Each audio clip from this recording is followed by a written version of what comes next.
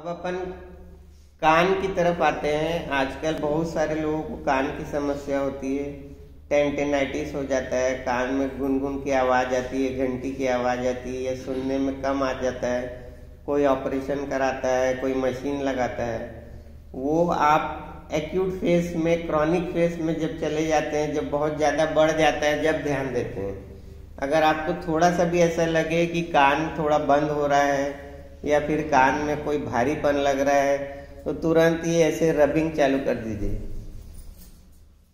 खाली one point treatment है, ये रबिंग ऐसे चालू कर दीजिए। वी वी बना के उंगली की ऐसी रबिंग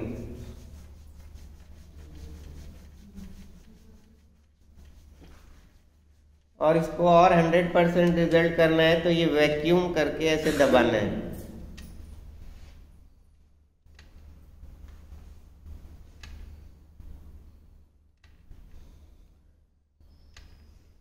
और कान की समस्या ज़्यादा उत्पन्न हो, उसके लिए ठंड से बचना चाहिए, कफ कोल्ड से बचना चाहिए।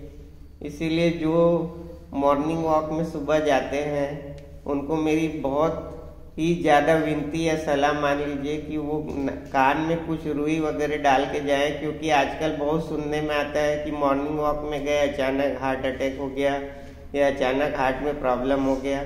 ये सब जकड़न से होता है, कफ से होता है। अपन मॉर्निंग वॉक में जाते हैं बॉडी हीट हो जाती है और कोई भी ऐसे बिना स्वेटर पहने या बिना ढके निकलते हैं, एक तरफ़ से बॉडी हीट रहती है, एक तरफ़ से उसमें कोल्ड जैसे तवे में अपन पानी डालते झन से आवाज़ आती है गर्म तवे में।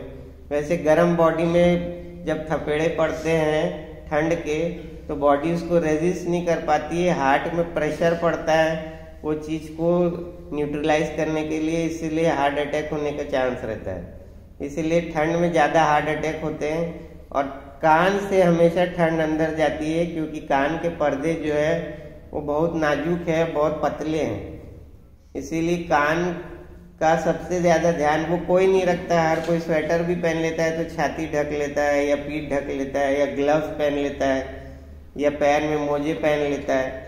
लेकिन कान से जो हवा जाती है, उसकी तरफ़ किसी का ध्यान नहीं जाता है जनरली इसीलिए वो कान के लिए जो कैप आता है, वो लगा सकते हैं। पुराने लोग कंटोपा लगाते थे, आजकल फ़ैशन हो गया कि, अरे, ये कैसा लगा के घूम रहा है, ऐसे करके आदमी को लगता है, कोई दूसरा क्या बोलेगा, इसको इतनी ठंड लग रही है क्या? ये तो कश्मीर से आया है। ऐसे में बहुत